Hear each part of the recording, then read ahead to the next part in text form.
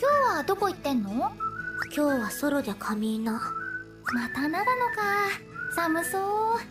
あれ？ソロって一人なの？なでしこちゃんとキャンプって言ってなかったっけ？試験休みにキャンプ？うん行く行く。南部町にある川辺のキャンプ場なんだけど自転車で行ける距離のとこ。いいね。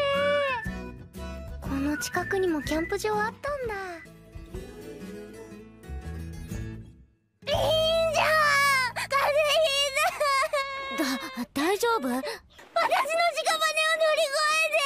死ぬな。気になるキャンプ場もあったし一人で行ってくるか。片道150キロ。高ぼっちの時と同じくらい。遠いな。あとは観光スポットも調べて。行き当たりばったりも旅の楽しみ方っておじいちゃんも言ってたし。もう寝よう。風邪治っちゃった。まだ7時前。りんちゃんとキ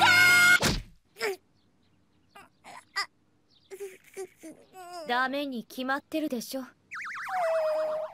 回り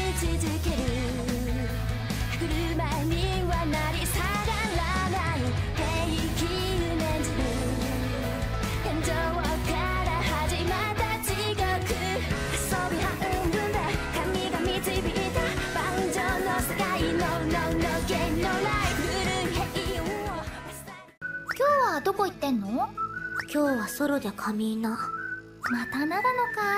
寒そう。あれ？ソロって一人なの？なでしこちゃんとキャンプって言ってなかったっけ？試験休みにキャンプ？うん行く行く。南部町にある川辺のキャンプ場なんだけど自転車で行ける距離のとこ。いいね。この近くにもキャンプ場あった？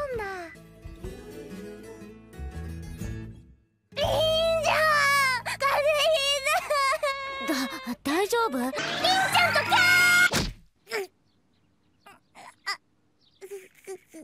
ダメに決まってるでしょ。回り続ける。車にはなり下がらない。私の屍を乗り越えておい死ぬな。気になるキャンプ場もあったし一人で行ってくるか。片道150キロ高ぼっちの時と同じくらい。遠いなあ。とは観光スポットも調べて。